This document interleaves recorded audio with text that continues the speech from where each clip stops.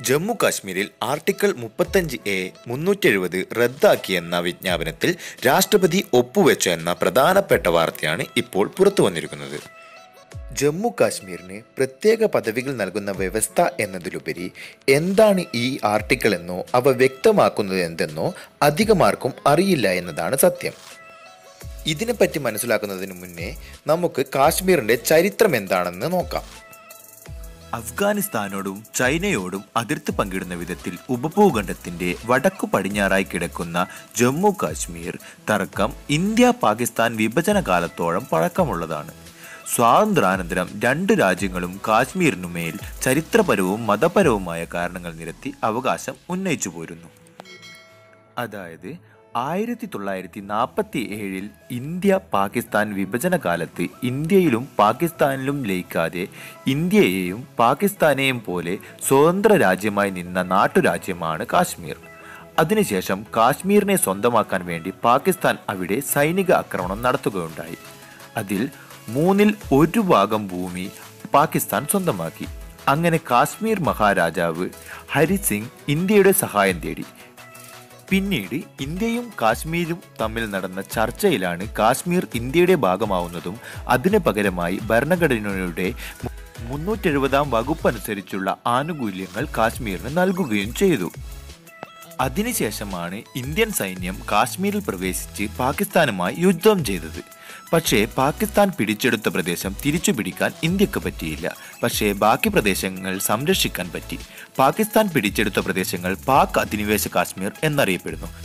കരാറു പ്രകാരം കാശ്മീർ ഇന്ത്യയിൽ ലയിക്കുകയും ജവഹർലാൽ നെഹ്റു അവർക്കുള്ള അവകാശങ്ങൾ നൽകുകയും ചെയ്തു. ഇനി നമുക്ക് ആർട്ടിക്കിൾ മുന്നൂറ്റി എഴുപത് വകുപ്പ് പ്രകാരമുള്ള നിബന്ധനകൾ എന്തൊക്കെയാണെന്ന് നോക്കാം. പ്രതിരോധം വിദേശകാര്യം ധനകാര്യം ആശയവിനിമയം എന്നീ വകുപ്പുകൾ ഒഴികെയുള്ള മറ്റു നിയമങ്ങൾ ജമ്മു കാശ്മീരിൽ പ്രയോഗിക്കുന്നതിന് കേന്ദ്രത്തിന് ജമ്മു കാശ്മീർ സർക്കാരിന്റെ അനുവാദം ആവശ്യമാണ്.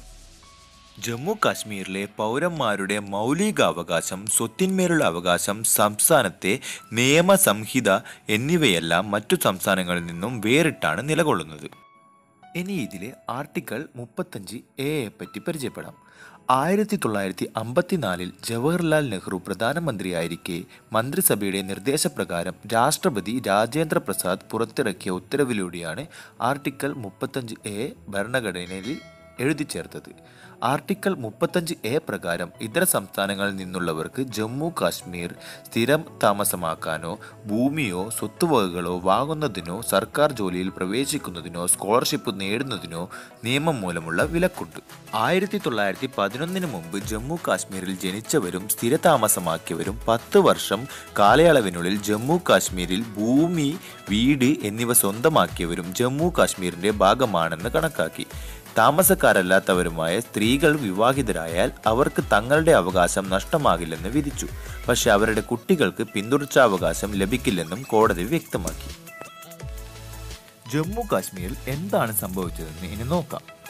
അവിടെ ഇന്ത്യൻ ഭരണഘടന പൂർണമായും നടപ്പാക്കി. ജമ്മു കാശ്മീരിനായി പ്രത്യേക നിയമം എടുത്തു കളഞ്ഞു ഇന്ത്യൻ പതാകയോട് അനാദരവ് കാണിച്ചാൽ ശിക്ഷിക്കപ്പെടും. ജമ്മു കാശ്മീർ പ്രത്യേക പതാക ഇനി ഉണ്ടാവില്ല. എല്ലാ ഭാരതീയർക്കും ജമ്മുവിൽ സ്ഥലം വാങ്ങാവുന്നതാണ്. ഇന്ത്യൻ പാർലമെന്റിൽ പാസാക്കുന്ന നിയമങ്ങൾ ജമ്മു കാശ്മീരിലും ബാധകമായിരിക്കും. എല്ലാ ഇന്ത്യക്കാർക്കും ഇനി കാശ്മീരിൽ സർക്കാർ ജോലിക്ക് അപേക്ഷിക്കാവുന്നതാണ്. ജമ്മു കാശ്മീരിൽ താമസിക്കുന്ന ഇതര സംസ്ഥാനക്കാർക്കും പ്രായപൂർത്തിയായാൽ വോട്ടവകാശം ഉണ്ടാകും. ഇന്ത്യയിലെ മറ്റു സംസ്ഥാനങ്ങളെപ്പോലെ ജമ്മു കാശ്മീരിലും ത്രിതല പഞ്ചായത്ത് ഭരണം നിലവിൽ വരും. ഭാരതത്തിലെ മറ്റു സംസ്ഥാനങ്ങളെ പോലെ സംസ്ഥാന ഭരണം അഞ്ച് വർഷമായിരിക്കും ആറ് വർഷമായിരുന്നു മുന്നേ ജമ്മു കാശ്മീരിന്റെ ഭരണകാലയളവ്. ഇനി ഇന്ത്യ മുഴുവൻ ഒറ്റ പൗരത്വം കാശ്മീരികൾക്ക് ഇരട്ട പൗരത്വം ഉണ്ടായിരിക്കില്ല. ജമ്മു കാശ്മീരിന് ഇനി ഇന്ത്യക്കുള്ളിൽ സ്വയം ഭരണാവകാശം ഉണ്ടാവില്ല. ഇനി ഇന്ത്യൻ സുപ്രീം കോടതിക്ക് ജമ്മു കാശ്മീരിൽ അധികാരമുണ്ടായിരിക്കും. ഇതുവരെ അത് ഉണ്ടായിരുന്നില്ല. കാശ്മീർ യുവതികളെ വിവാഹം ചെയ്ത് ഇനി പാകിസ്ഥാൻ യുവാക്കൾക്ക് കാശ്മീരിൽ കുടിയേറി ഇന്ത്യ വിരുദ്ധ പ്രവർത്തനങ്ങളിൽ ഏർപ്പെടാനും ആകില്ല പക്ഷേ ഈ നിയമത്തിന് കാശ്മീരി ജനവിഭാഗത്തിന് ശക്തമായ എതിർപ്പുണ്ടെന്നാണ് റിപ്പോർട്ട്. എന്തു തന്നെയായാലും ഈ തീരുമാനം രാജ്യത്തിന്റെ നന്മയ്ക്ക് വേണ്ടിയായിരുന്നോ അല്ലെങ്കിൽ രാഷ്ട്രീയ കളികളായിരുന്നോ എന്ന് കാലം നമുക്ക് തെളിയിക്കും.